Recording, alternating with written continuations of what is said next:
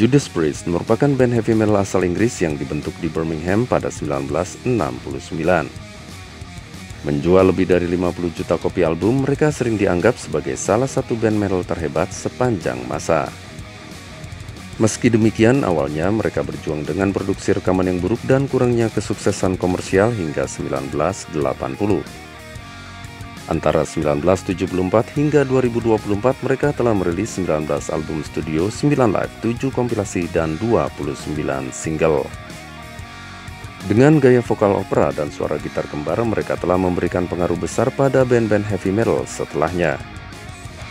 Citra mereka dengan pakaian kulit beraksesoris paku dan aksesoris tabu lainnya sangat berpengaruh selama era glam metal 1980-an.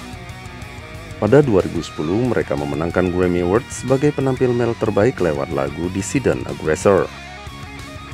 Dan pada 2022, mereka dilantik ke dalam Rock and Roll Hall of Fame.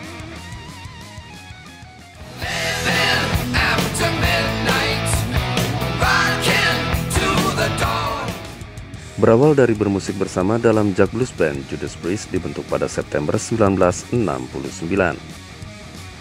Nama band mereka diambil dari lagu Bob Dylan The Ballad of Frankie Lee and Judas Priest juga pada tahun itu. Formasi awal Judas Priest meliputi vokalis Ed Atkins, gitaris John Perry, basis Bruno Stephenhill, dan drummer John Partridge. Pergantian personil pun terjadi dengan masuknya gitaris Ernie Chataway dan drummer Fred Woolley. Mereka sempat merekam demo dua lagu Good Time Woman dan We'll Stay Together sebelum berpisah pada April 1970. Pada Oktober 1970, band mereka direformasi dengan personil vokalis Ed Atkins, gitaris KK Downing, basis Ian Hill, dan drummer John Ellis. Pergantian personil kembali terjadi yaitu masuknya drummer Alan Moore, kemudian John Hinch, dan vokalis Rob Halford. Hingga pada April 1974, formasi mereka menjadi Halford, Downing, Hill, Hinch, ditambah gitaris baru Glenn Tipton.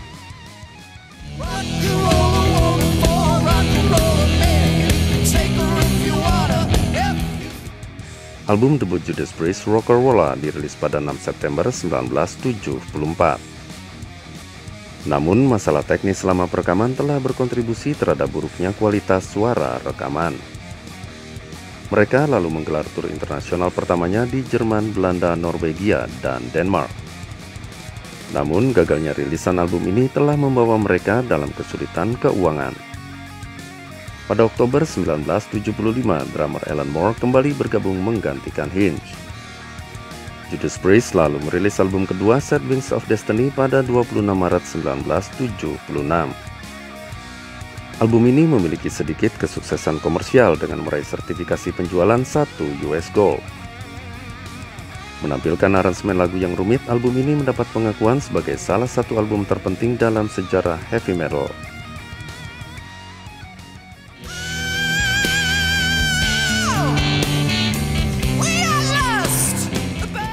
Untuk kali kedua, Moore meninggalkan band dan digantikan drummer sesi Simon Phillips pada Januari 1977. Judas Priest lantas merilis album ketiga Scene After Scene pada April 1977 yang juga menampilkan drummer Les Binks dan Dave Holland. Album ini menempati peringkat 23 UK Albums Chart dan kembali meraih sertifikasi 1 US Gold. Album ini juga menampilkan perkembangan signifikan dalam teknik heavy metal khususnya penggunaan double kick drum. Setelah Phillips menolak menjadi anggota tetap, Judas Priest merekrut Les Binks pada Maret 1977 sebagai drummer mereka. Mereka lalu merilis album keempat Stand Class pada 10 Februari 1978. Album ini berhasil menembus US Billboard 200 di peringkat 173 dan 27 UK Albums. Meraih sertifikasi 1 US Gold, album ini kelak menjadi subjek gugatan perdata pada 1990 akibat kasus bunuh diri seorang remaja.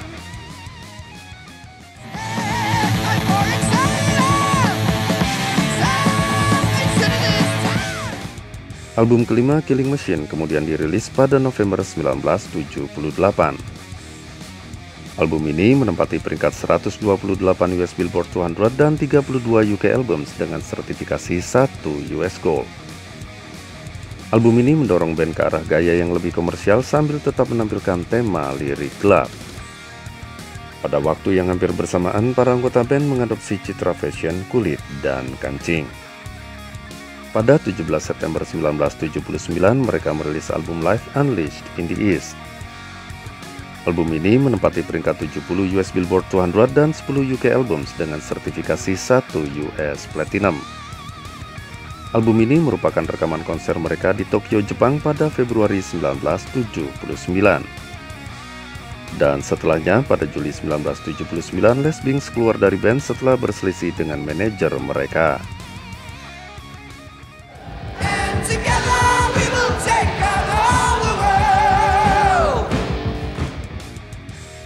Pada Agustus 1979, Devolin bergabung dengan Judas Priest sebagai drummer mereka.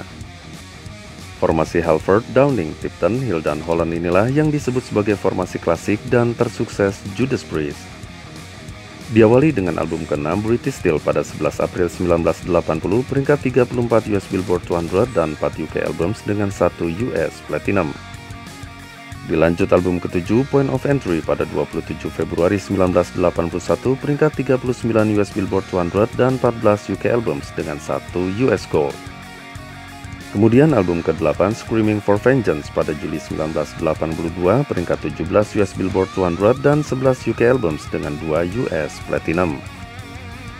Disambung album ke-9 Defenders of the Faith pada 13 Januari 1984 peringkat 18 US Billboard 200 dan 19 UK Albums dengan 1 US Platinum.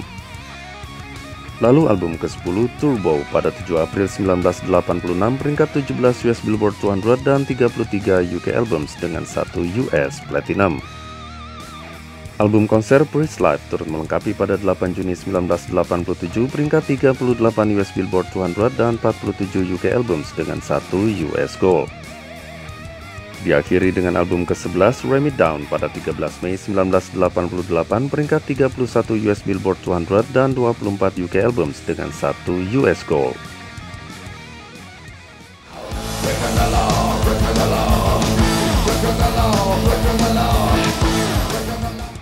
Beberapa single dari formasi klasik ini juga sukses menjadi radio hit. Sebut saja Breaking the Law dan Living After Midnight pada 1980. You've Got Another Thing Coming pada 1982. Free Will Burning dan Some Heads Are Gonna Roll pada 1984. Dan cover version Johnny B. Good pada 1988. Namun pada 1989 masalah kesehatan keluarga dan perbedaan idealis dalam bermusik memaksa Holland meninggalkan Judas Priest. Posisinya kemudian diisi oleh drummer Scott Travis dari band Razor X pada November tahun itu. Album ke-12 Painkiller kemudian dirilis pada 14 September 1990 peringkat 26 US Billboard 200 dan UK Albums dengan 1 US Gold.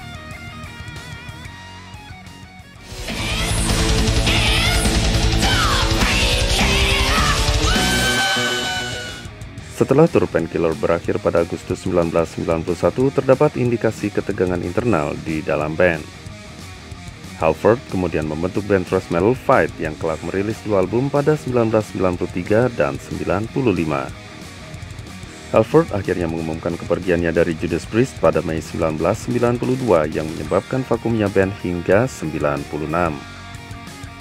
Setelah melakukan audisi, Judas Priest mendapatkan vokalis baru Tim Owens, jebolan band Brainside dan Winterspain. Pada 16 Oktober 1997, mereka merilis album ke-13 Jaggy Leather yang menempati peringkat 82 US Billboard 200. Album ini diikuti album konser 98 Live Meltdown pada 17 September 1998. Kemudian album ke-14 Demolition dirilis pada 16 Juli 2001 menempati peringkat 165 US Billboard 200. Dan album konser live in London pada 8 April 2003 menjadi rilisan terakhir bagi Awan sebagai vokalis Judas Priest.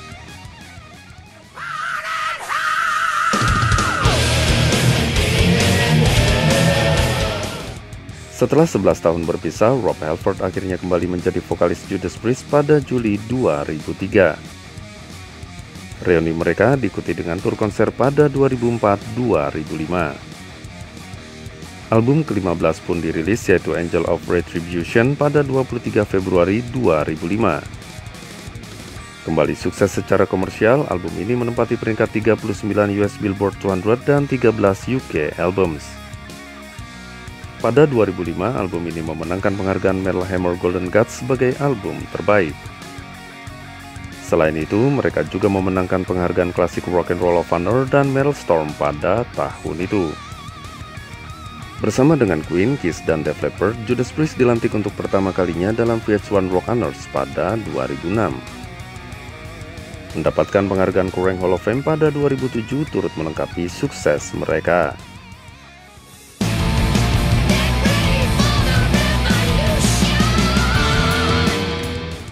Berikutnya album ke-16 Nostradamus dirilis pada 17 Juni 2008.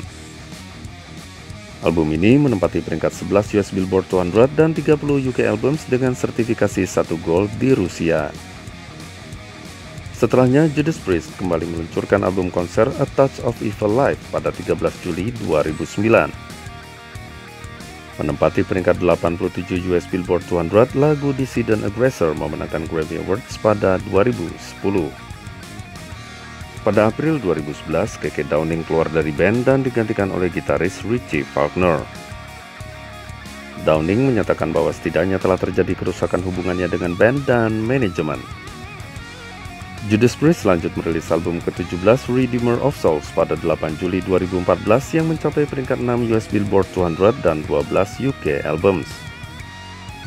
Album ini diikuti album konser Battle Cry pada 25 Maret 2016 yang menempati peringkat 50 US Billboard 200.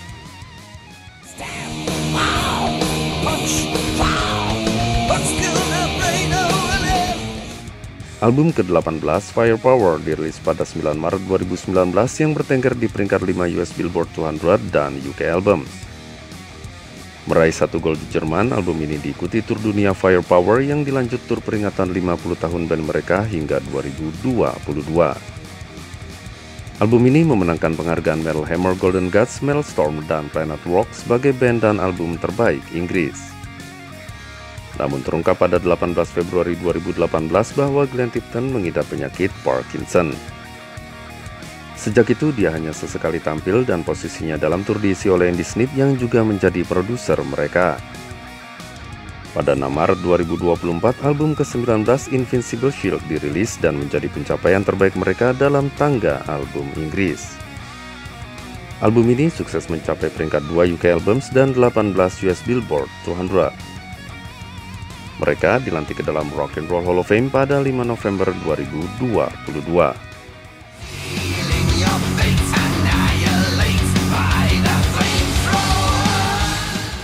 Di luar Judas Priest, sang vokalis rupanya cukup mencuri perhatian. Bersama band Fight, dia merilis 5 album antara 1992 hingga 95. Bersama band 2, dia merilis satu album pada 1998. Sebagai artis solo, dia merilis 9 album antara 2000 hingga 2019. Dan sebagai musisi tamu, dia juga terlibat dalam 19 album artis lain antara 1983 hingga 2023. Setelah pada Januari 1986 dia harus menjalani rehabilitasi ketergantungan obat. Dia juga harus ditangkap akibat perbuatan kontroversinya di muka umum pada September 2000. Namun yang paling menjadi perhatian adalah pengakuannya di MTV pada 1998 bahwa dia adalah penyuka sesama jenis. Hal itu memang mengejutkan, tapi nampaknya para fans menganggap bahwa itu ranah pribadi yang tak terkait dengan musiknya.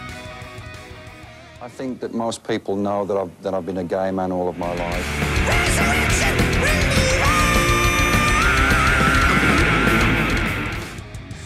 Halford menjalani operasi punggung, hernia umbikalis, kanker prostat, dan tumor usus antara 2013 hingga 20.